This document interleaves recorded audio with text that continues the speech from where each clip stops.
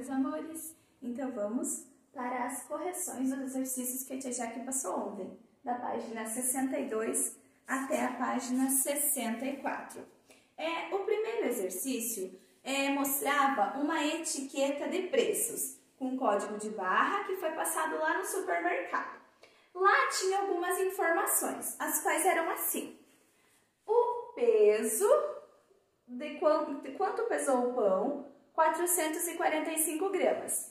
Qual é o preço do quilo do pão? Um quilo de pão custa 12,40, mas ele não comprou um quilo, ele comprou 445 gramas, então ele pagou R$ 5,50. E tem também lá a data de validade. A primeira pergunta pedia para vocês escreverem qual é o preço de um quilo de pão. Não é o pão que ele levou, não é a quantidade que ele levou, é quanto custa um quilo. Então, vocês devem escrever lá. Quanto que custou o quilo de pão? Doze reais e quarenta centavos. Quarenta centavos. Esse é o preço do quilo do pão. Pergunta era para vocês representarem naquele quadro quanto ele pagou pelo pão. O quadro está separado em reais e centavos. Quanto ele pagou? Cinco reais e cinquenta centavos. É assim que vocês precisam representar. A letra C pergunta se é, é, mostra quantas notas ele tem. São três notas de dois reais, totalizando seis reais. E perguntam se esse dinheiro é suficiente para ele pagar o pão. Se ele pagou R$ 5,50 e ele tem seis reais, sim, o dinheiro é suficiente. E sobrou quanto desse dinheiro? Quanto ele vai receber de troco? Então, sim é suficiente e ele receberá 50 centavos de troco.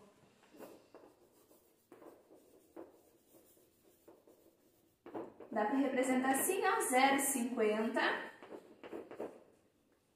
Deixa eu arrumar aqui, ficou meio feio. De troco.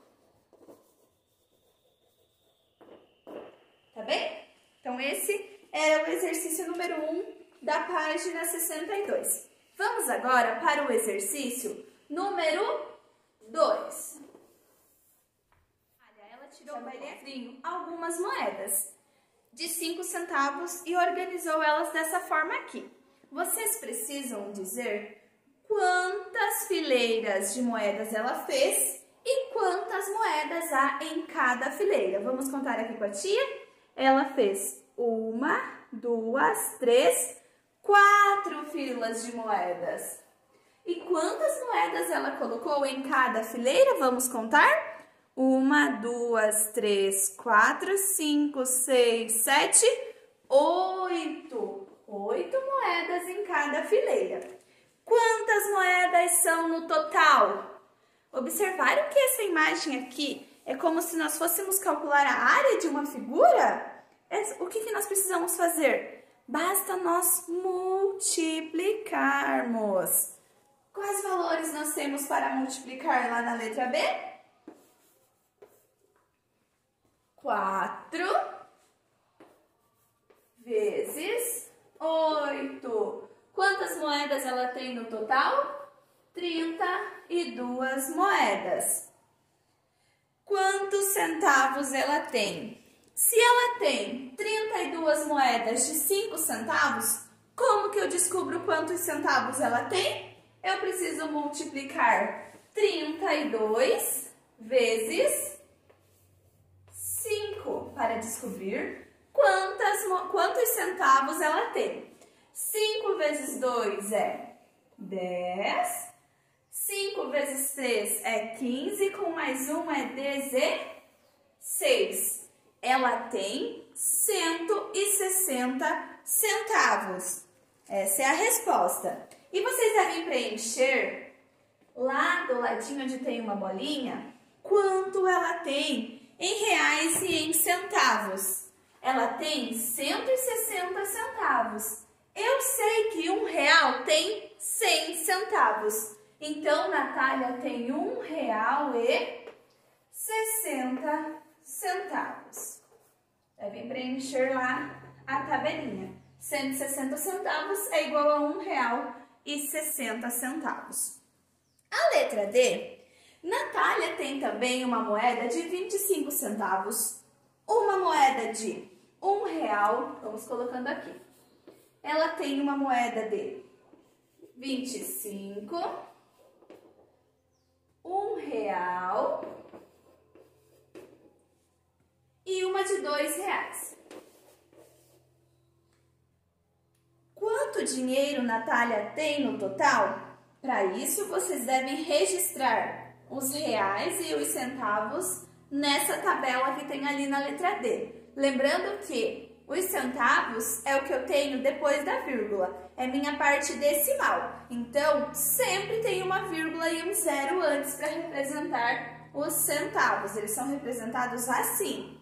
C, é, 0,25, 0,50, 0,75, 0,99, assim que são representados os centavos. Vamos calcular então ali naquela tabela quanto que Natália tem no total? Ela já tinha 1,60.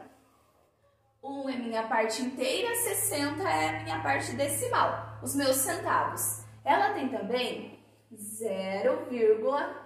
0,25 centavos.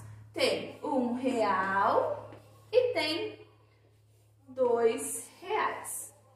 Vamos somar tudo para ver quantos reais ela tem no total. 5 com 0 0, 0 é 5. 6 mais 2 é 8. Lembra que a tia explicou que terminei de, de somar a minha parte, os meus centavos. Eu já desço a minha vírgula aqui para não dar errado. 2 com 1, 3, com mais 1, 4. Então, quantos reais Natália tem no total? Ela tem R$ 4,85. Então, agora vamos para o exercício 3, na página 64. Diz assim, Gabriel quer comprar um DVD que custa R$ 19,70, mas ele está sem dinheiro. Aí ele pensa com ele ali, se Marcela pagar os 12 reais que me deve, posso pedir o restante emprestado para minha mãe. Quanto Gabriel precisará pedir para a mãe se Marcela pagar a dívida? Então, se custa R$ 19,70, se a Marcela pagar os 12 reais que deve para ele, quanto que ele vai precisar pedir emprestado para a mãe dele? Vamos calcular? 0 menos 0, 0, 7 menos 0, 7, 9 menos 2, 7, 1 menos 1 é 0. Então, quantos reais ele precisará pedir emprestado para sua mãe? Gabriel precisará pedir emprestado R$ 7,70 vamos corrigir o exercício número 4. Diz assim: Beto foi com o pai até uma loja de produtos esportivos para comprar uma bola que custa 141 reais. Conversando com o pai dele, ele disse que já faz cinco meses que ele economiza a metade do que ele recebe de mesada. Então o pai dele disse que iria pagar é o restante que faltava para ele comprar a bicicleta, para ele comprar a bola. Beto recebe R$ 42 de mesada. Quantos reais ele conseguiu economizar nesses cinco meses? Então, vamos para nossas informações. A mesada do Beto é de 42 reais. Todo mês ele economiza a metade disso. O que é a metade? A metade é 2. Quando eu divido algo no meio, eu tenho duas partes. Então, a metade é 2. Então, para eu descobrir quanto que ele está guardando por mês, eu preciso dividir 42 por 2. Então, fazem lá a divisão. 4 dividido por 2. 2. 2 vezes 2 é 4 e sobra 0. Vou baixar o número 2. 2 dividido por 2 é 1. 1 vezes 2 é 2 e sobra 0. Já terminei a minha conta? Não, porque eu quero saber quantos reais ele conseguiu economizar em 5 meses. Então, cada mês ele economizou 21 reais. Como que eu descubro quantos reais ele economizou no total? Eu devo fazer 21 vezes 5, porque são 5 meses. 5 vezes 1 é 5. 5 vezes 2 é 10. Então, quantos reais ele conseguiu economizar em 5 meses? Ele conseguiu economizar 105 reais. Quantos reais? Agora nós vamos lá essa, essa aqui era a letra A. Agora nós vamos lá na letra B. Quantos reais o pai de Beto irá contribuir para comprar a bola? Se a bola custa 141, ele tem 105, como que eu descubro quantos reais faltam para completar o valor da bola? Quanto que o pai do Beto terá que dar para ele? Eu tenho que chegar eu tenho que subtrair 105 de 141.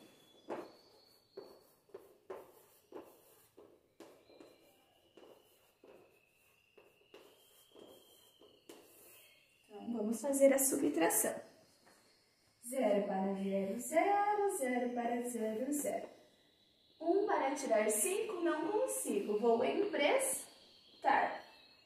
Fiquei com 11. 5 para chegar em 11 é 6. 0 para chegar em 3 é 3 e 1 para 1 é nada. Então, quantos reais o pai do Beto terá que, terá que emprestar para ele contribuir com ele? Ele terá que contribuir com 36 reais. Agora vamos para a letra C. Na hora de pagar, eles ganharam um desconto de 17 reais. O pai de Beto deu ao caixa o valor prometido. Quantos reais Beto teve que pagar? Então, prestar bastante atenção nessa pergunta. Por quê? Porque nós vamos subtrair 17 reais do valor que o Beto tinha que pagar. Porque o pai dele prometeu que daria o restante, então o pai dele deu os 36. Então nós temos que fazer 105 menos 17 e não 141 menos 17. Então, vamos lá. 105 menos 17. Para saber quantos reais o Beto pagou. 0, 0 para 0 é 0, 0 para 0 é 0. Dê sua vírgula. 5 não dá para tirar 7, vou emprestar. Esse 1 ficou valendo 0, que emprestou para esse que ficou valendo 9, que emprestou para esse que ficou valendo 15. 7 para chegar em 15 é 8. 1 para chegar em 9 também é 8. Então, é, quantos reais o Beto teve que pagar? O Beto teve que pagar 88 reais. E assim, chegamos ao fim da nossa apostila de matemática. Espero que vocês corrijam os exercícios e caprichem na hora de realizar as atividades que a tia está mandando, tá bom? Grande beijo, até a próxima aula. Tchau, tchau!